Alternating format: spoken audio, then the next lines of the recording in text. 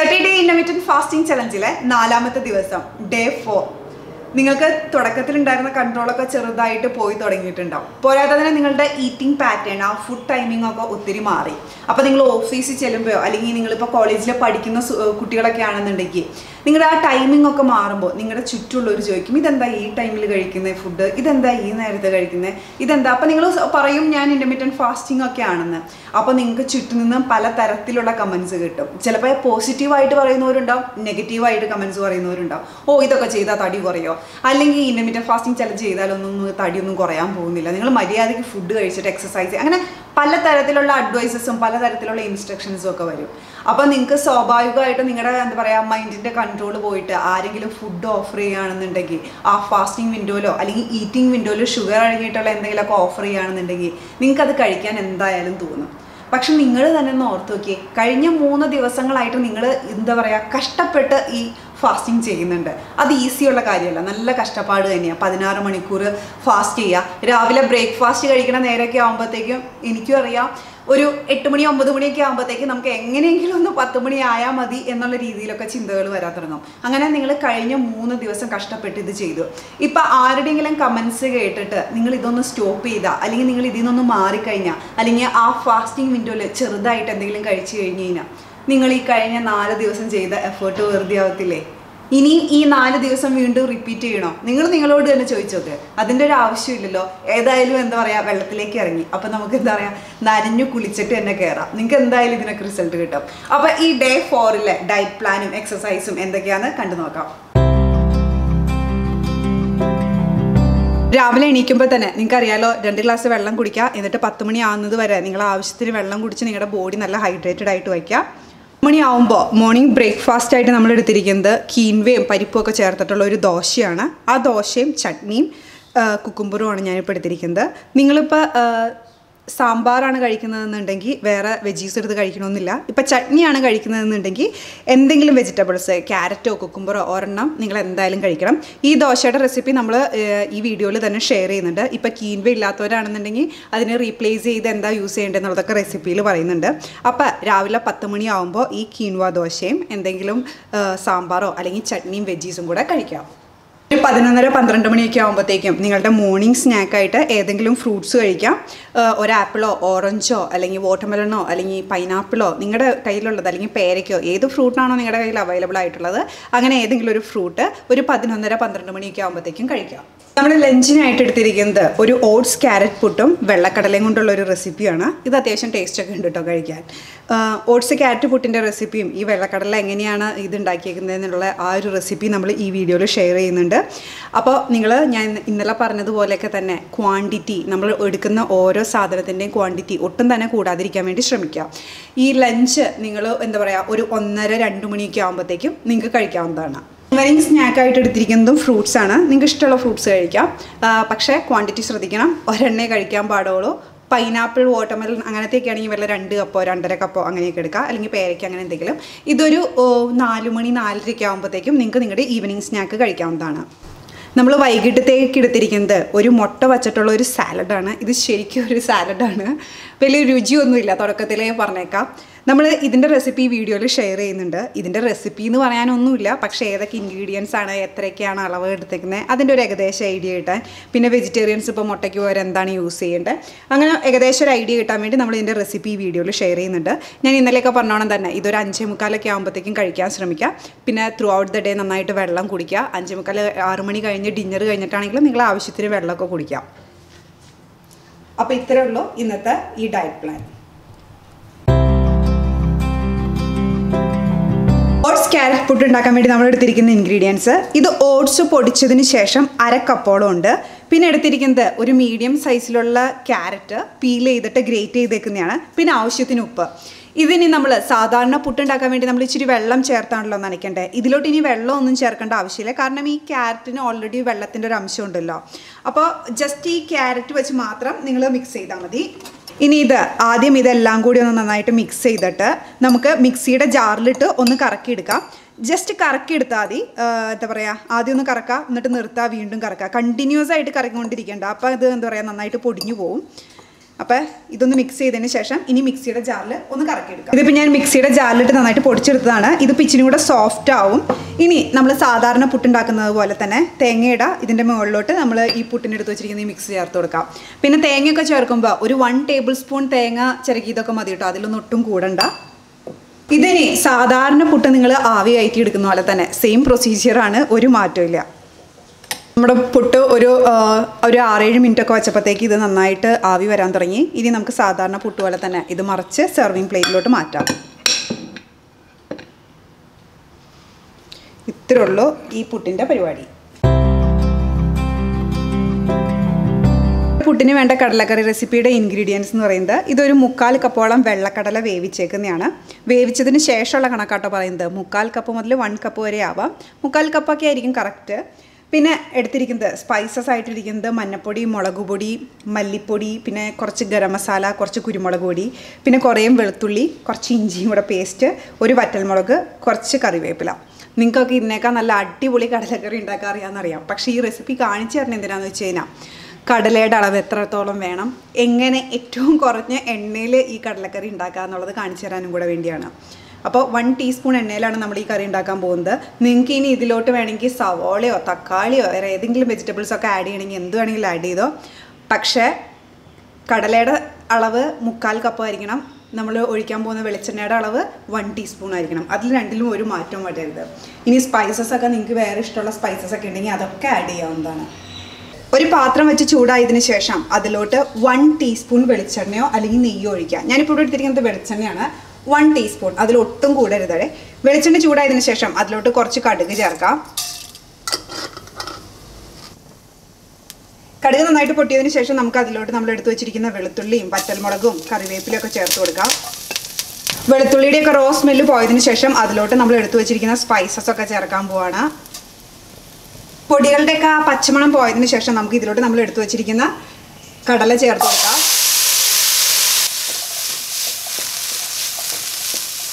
ഇനി ഇതിലോട്ട് ആവശ്യത്തിന് ഉപ്പൊക്കെ ചേർത്ത് കൊടുത്തിട്ട് കടല നല്ല ഡ്രൈ ആയിട്ട് എടുക്കും. ഇപ്പം നിങ്ങൾക്ക് പുട്ടിന്റെ ഒപ്പം കടല എന്താ പറയുക നല്ല ചാറൊക്കെ ഉള്ള കറിയായിട്ട് വേണമെന്നുണ്ടെങ്കിൽ ഇതിൽ വെള്ളം ഒഴിച്ചു കൊടുക്കുകയോ അല്ലെങ്കിൽ തക്കാളി ചേർത്ത് കൊടുക്കുകയോ അങ്ങനെയൊക്കെ ചെയ്യാം. പക്ഷേ കടലയുടെ അളവും എണ്ണയുടെ അളവും ഒട്ടും കൂടുതലിത്. അപ്പോൾ ഒരു രണ്ട് മിനിറ്റും കൂടി ഇങ്ങനെ വെച്ച് കഴിഞ്ഞാൽ ഇത് നന്നായിട്ട് നല്ല ഡ്രൈ ആയിട്ട് കിട്ടും. അതിനുശേഷം ഫ്ലെയിം ഓഫ് ചെയ്യാം. ഇത്രയുള്ള അപ്പം നമ്മുടെ കടലയുടെ റെസിപ്പി ഈ സാലഡ് റെസിപ്പിക്ക് വേണ്ടി എടുത്തിരിക്കുന്നത് ഉണ്ടല്ലോ രണ്ട് പുഴുങ്ങിയ മുട്ട. നിങ്ങൾക്ക് ആ മുട്ട ഫുള്ളായിട്ട് യൂസ് ചെയ്യാം. അതായത് എഗ് യോക്കും യൂസ് ചെയ്യാം. പുഴുങ്ങിയ മുട്ട ഞാൻ ഇതുപോലെ നാലായിട്ട് മുറിച്ചിങ്ങനെ ഇട്ടേക്കുവാണ്. പിന്നെ ഒരു തക്കാളി ചെറിയ കഷ്ണമായിട്ട് അരിഞ്ഞിട്ടേക്കുന്നു പിന്നെ ഒരു കുക്കുംബർ പിന്നെ ഞാൻ കുറച്ച് ബേബി സ്പിനാച്ച് എടുത്തിട്ടുണ്ട്. നിങ്ങൾക്ക് ഇങ്ങനെ ഈ ഇല പച്ചക്ക് കഴിക്കാൻ താല്പര്യമില്ല എന്നുണ്ടെങ്കിൽ ആഡ് ചെയ്യണമെന്നില്ല അതിന് പകരം വല്ല ക്യാരറ്റോ കുക്കുമ്പറോ എക്സ്ട്രാ എടുത്താലും മതി. ഇപ്പോൾ ഇങ്ങനെ ഇലകൾ പച്ചയ്ക്ക് കഴിക്കണതിന് കുഴപ്പമില്ലാത്തവരാണ്.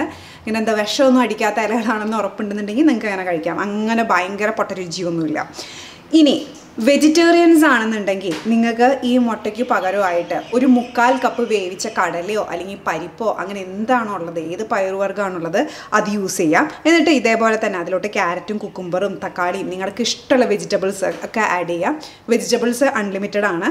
പിന്നെ ഇനി ഇതിലോട്ട് നിങ്ങൾ കഴിക്കാൻ നേരത്തെ ഇപ്പോൾ ഈ എഗ് ഇപ്പോൾ ഈ മുട്ട വെച്ചുള്ള സാലഡാണ് നിങ്ങൾ കഴിക്കാൻ എടുക്കുന്നതെന്നുണ്ടെങ്കിൽ നിങ്ങൾക്ക് കഴിക്കാൻ നേരത്തെ ഇതിലോട്ട് കുറച്ച് കുരുമുളക് പൊടിയും ഉപ്പും കൂടിയൊക്കെ ചേർത്ത് കൊടുക്കാം. ഇത് ഭയങ്കര രുചിയൊന്നുമില്ല ഞാൻ നേരത്തെ പറഞ്ഞോണം പക്ഷെ കുഴപ്പമില്ല നല്ല സൂപ്പർ ഹെൽത്തിയാണ് ഫില്ലിങ്ങും ആണ്. കാരണം നമ്മൾ കുറേ വെജീസ് കഴിക്കുന്നുണ്ട് അതേപോലെ തന്നെ രണ്ട് പുഴുങ്ങിയ മുട്ടയും കഴിക്കുന്നുണ്ട്. ഇപ്പോൾ വെജിറ്റേറിയൻസിന്റെ കേസ് ആണെന്നുണ്ടെങ്കിൽ വെള്ളക്കടല അത് ഏത് പയറുവർഗമാണോ അത് ഏകദേശം ഒരു മുക്കാൽ കപ്പ് കഴിക്കുമ്പോൾ എന്തായാലും ഇത് ഫില്ലിംഗ് ആയിരിക്കും. അപ്പം ഇതാണ് വൈകുന്നേരത്തെ ഡിന്നർ റെസിപ്പി ഫോർ വർക്കൗട്ടാണ് നമ്മൾ ചെയ്യാൻ പോകുന്നത് നമ്മുടെ ഗ്ലൂട്ട്സിന് വേണ്ടിയിട്ടുള്ള വർക്കൗട്ടാണ് നമ്മൾ കഴിഞ്ഞ ദിവസങ്ങളിൽ ചെയ്ത പോലെ തന്നെ ബോഡി വെയിറ്റ് വെച്ചിട്ടുള്ള എക്സസൈസും ഉണ്ട് ഡംബിൾസ് വെച്ചിട്ടുള്ള എക്സസൈസും ഉണ്ട്. ഓരോ എക്സസൈസും എത്ര റെപ്പിറ്റേഷൻസ് ആണ് ചെയ്യേണ്ടത് എന്നുള്ളത് താഴെ ഡിസ്ക്രിപ്ഷൻ ബോക്സിൽ കൊടുത്തിട്ടുണ്ട്. ഇപ്പോൾ അത്യാവശ്യം ബോഡി പെയിൻ ഒക്കെ സ്റ്റാർട്ട് ചെയ്തിട്ടുണ്ട്. രണ്ട് മൂന്ന് ദിവസം കഴിഞ്ഞല്ലോ. അപ്പോൾ ബോഡി പെയിൻ സ്റ്റാർട്ട് ചെയ്തതിന് എക്സസൈസ് ഒക്കെ എനിക്ക് ബോഡി പെയിൻ ആണെന്ന് പറഞ്ഞ് ഒരിക്കലും സ്കിപ്പ് ചെയ്യരുത്. പകരം സ്ട്രെച്ച് ചെയ്യുക. അപ്പോൾ നിങ്ങൾക്ക് ബോഡി പെയിൻ അധികം ഉണ്ടാകത്തില്ല. അപ്പോൾ ഈ ഗ്ലൂട്ട്സിന് വേണ്ടിയിട്ടുള്ള എക്സസൈസുകൾ ഏതൊക്കെയാണെന്നുള്ളത് താഴെ ഡിസ്ക്രിപ്ഷൻ ബോക്സിൽ കൊടുത്തിട്ടുണ്ട്. എത്ര റെപ്പറ്റീഷൻസ് ആണ് ചെയ്യേണ്ടതെന്നുള്ളത് താഴെ ഡിസ്ക്രിപ്ഷൻ ബോക്സിലുണ്ട് അപ്പോൾ നിങ്ങൾ ആ എക്സസൈസുകൾ ചെയ്ത് കഴിയുമ്പോൾ അല്ലെങ്കിൽ ആ ഒരു സർക്യൂട്ട് കംപ്ലീറ്റ് ചെയ്ത് കഴിയുമ്പോൾ വൺ മിനിറ്റ് ബ്രേക്ക് എടുത്തിട്ട് വീണ്ടും റിപ്പീറ്റ് ചെയ്യുക അങ്ങനെ മുപ്പത് മിനിറ്റ് ആകുന്നത് വരെ. ഞാൻ ഇതിനു മുന്നും പറഞ്ഞ പോലെ തന്നെ എക്സസൈസ് ചെയ്യുന്നതിന് മുന്നേ വാമപ്പ് ചെയ്യാനും എക്സസൈസ് ചെയ്തതിന് ശേഷം സ്ട്രെച്ച് ചെയ്യാനും മറക്കരുത്. നിങ്ങൾക്ക് കുറച്ചു നേരം ജമ്പിങ് ജാക്സോ അല്ലെങ്കിൽ നിങ്ങൾ നിൽക്കുന്ന സ്ഥലത്ത് തന്നെ ജോഗ് ചെയ്തോ അങ്ങനെ ഏതെങ്കിലും രീതിയിലുള്ള വാമപ്പുകൾ ഇൻക്ലൂഡ് ചെയ്യാവുന്നതാണ്. അപ്പോൾ നമുക്ക് എക്സസൈസുകളിലോട്ട് കിടക്കാം. ചെയ്യുന്നതിന് വേണ്ടിയിട്ട് ഈ ഒരു പൊസിഷനിൽ സ്റ്റാർട്ട് ചെയ്തിട്ട് നിങ്ങളുടെ കൈകൾ എപ്പോഴും നിങ്ങളുടെ ഷോൾഡറിന് താഴെ തന്നെയാണെന്ന് ഉറപ്പ് വരുത്തണം. എന്നിട്ട് നിങ്ങളുടെ ലെഗ് മുകളിലോട്ട് ഉയർത്തുക. ആദ്യം ലെഫ്റ്റ് സൈഡിന് വേണ്ടി അല്ലെങ്കിൽ റൈറ്റ് സൈഡിന് വേണ്ടി ഏതെങ്കിലും ഒരു സൈഡിന് വേണ്ടി ചെയ്യുക. പത്ത് റെപ്പറ്റീഷൻസ് ഓരോ സൈഡിലും അതായത് ടോട്ടൽ ഈ എക്സസൈസ് ചെയ്യേണ്ടത് ഇരുപത് റെപ്പറ്റീഷൻസ് നിങ്ങൾ ഈ എക്സസൈസ് ചെയ്യുമ്പോൾ നിങ്ങൾക്കത് ഫീൽ ചെയ്യണം. നിങ്ങളുടെ ബഡ്സിന്റെ ആ ഏരിയയിലൊക്കെ ഒരു ഫ്രഷർ ചുമ്മാ നമ്മൾ കാൽ ഉയർത്തുന്നതിൽ കാര്യമില്ല.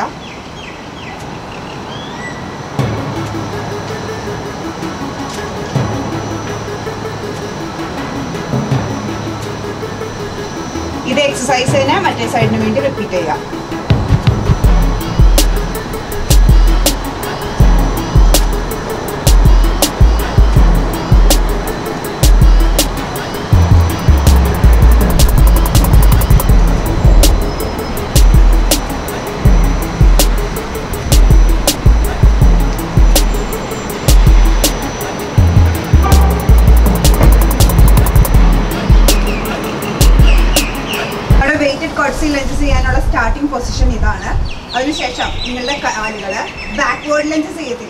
അതുപോലെ തന്നെ.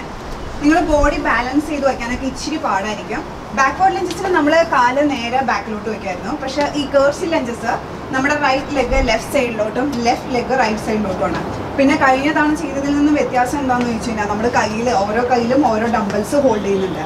അപ്പോൾ ബാലൻസ് ചെയ്യാനൊക്കെ ഇച്ചിരി ബുദ്ധിമുട്ട് കാണും. പക്ഷെ നിങ്ങൾ ട്രൈ ചെയ്യാം. ഇത് ഒരു ഇരുപത്തിനാല് റെപ്പറ്റീഷൻസ് ആണ് ചെയ്യേണ്ടത്. ഓരോ സൈഡിലും പന്ത്രണ്ട് വീതം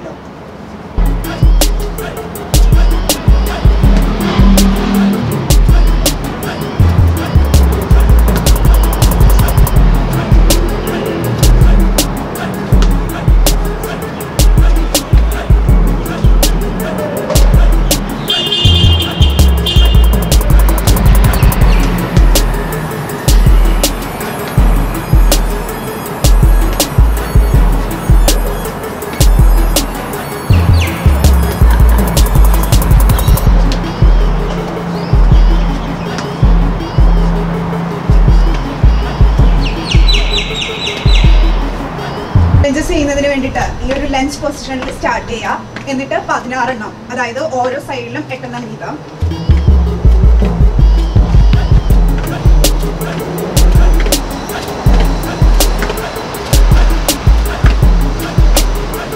വെയിറ്റഡ് സ്ക്വാട്സ് ചെയ്യുന്നതിന് വേണ്ടിയിട്ട് ഈ ഒരു സ്ട്രെയിറ്റ് പൊസിഷനിൽ നിൽക്കാൻ നിങ്ങളുടെ രണ്ട് കയ്യിലും ഡംബൽസ് വേണം. എന്നിട്ട് സാധാരണ സ്ക്വാട്സ് ചെയ്യുന്ന പോലെ തന്നെ നിങ്ങളുടെ അപ്പർ ബോഡി മുന്നിലോട്ട് പോകാതിരിക്കാൻ വേണ്ടി ശ്രമിക്കണം. ഇത് ഒരു പന്ത്രണ്ട് റെപ്പറ്റീഷൻസ് ആണ് ചെയ്യേണ്ടത്.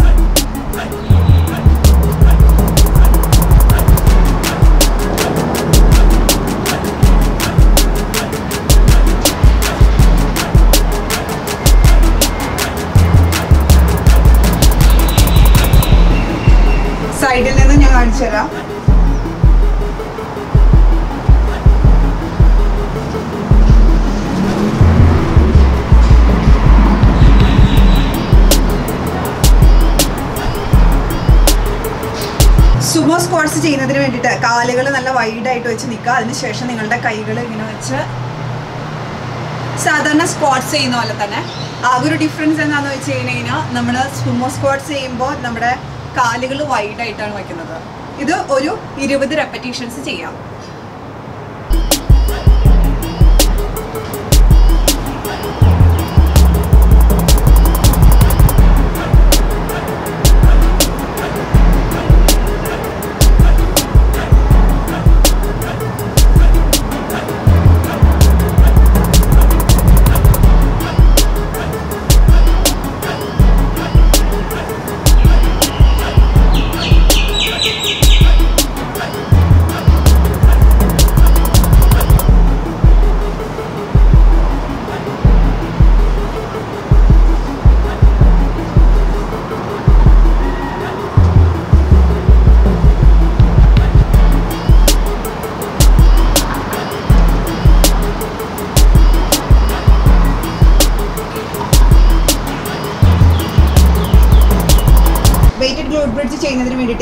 പൊസിഷനിൽ സ്റ്റാർട്ട് ചെയ്യുക.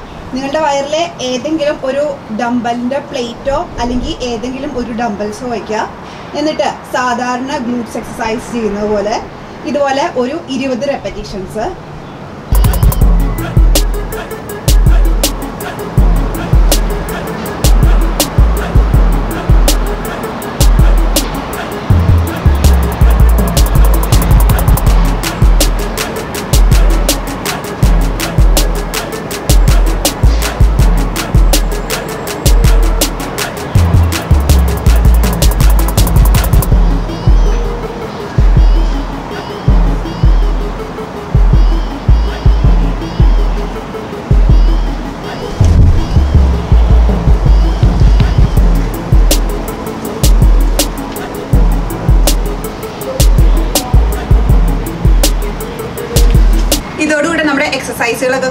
എല്ലാവരും നല്ല പ്രോപ്പറായിട്ട് ഡയറ്റ് നോക്കുക. നിങ്ങൾക്ക് എന്തായാലും റിസൾട്ട് കിട്ടും. നിങ്ങൾ ചെയ്യുന്നതിനൊക്കെ എന്തായാലും റിസൾട്ട് കിട്ടും.